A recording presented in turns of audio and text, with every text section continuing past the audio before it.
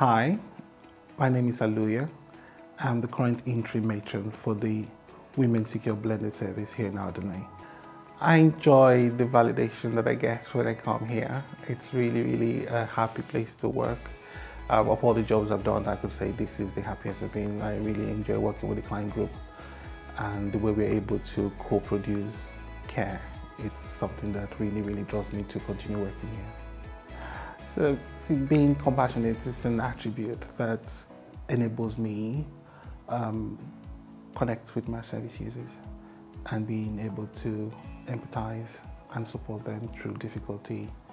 And I think it's important for every person that works in healthcare to be able to connect compassionately with our service users. I was actually looking for who nominated me just to make the person ask the person why did you do this to me. I felt embarrassed because I, I, I didn't really realize, I didn't really think that I needed to be validated in that way. But at the same time, I'm quite happy that I have been noticed. Overwhelming feeling of embarrassment, I have to say. I would like to say to the person that nominated me, thank you for validating and nominating me. It means a lot.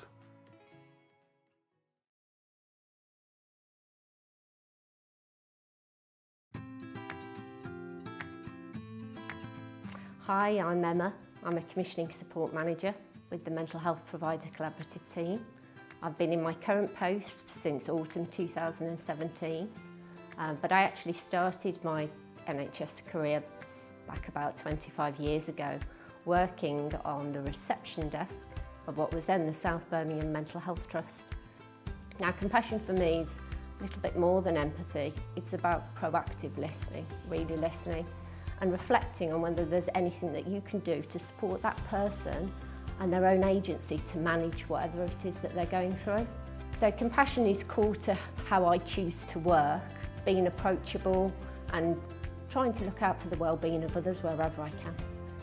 What I love most about my role is the people that I work with. And in my time in the NHS, I've had the privilege of working with some amazing people, including some exceptional line managers, who've role modelled for me what compassionate leadership is.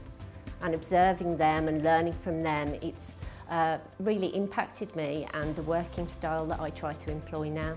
I was completely surprised when I got the email to say I'd been shortlisted. I had no knowledge of the nomination at all um, and I, I really wasn't expecting it.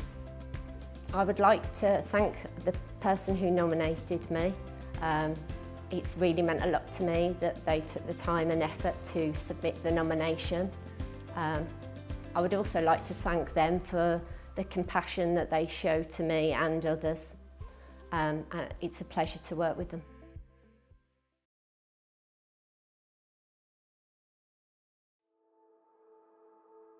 Yeah, my name is Faiz. I'm an advanced nurse practitioner working in older adults based at South sector of the Birmingham Trust uh, at Juniper Centre.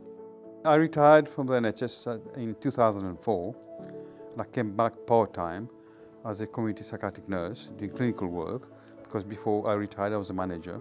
And then in 2016 I decided to do my nurse prescribing degree and which I completed and since then I've been working as an advanced nurse practitioner.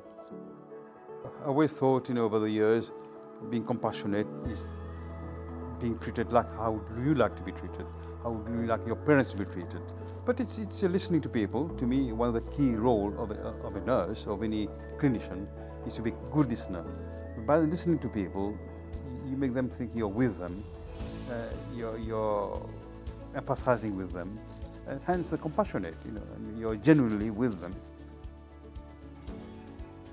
So yes, uh, uh, when I heard I've been nominated by uh, my manager, Adrian, I felt very proud and very honored. I mean, it's nice to be, to be appreciated, nice to know somebody genuinely appreciate what, what, what you're doing. So uh, yes, I, I like to thank him for that and, uh, and I know it was genuine. Uh, Adrian just did it genuinely, you know, and felt perhaps I deserve to be nominated.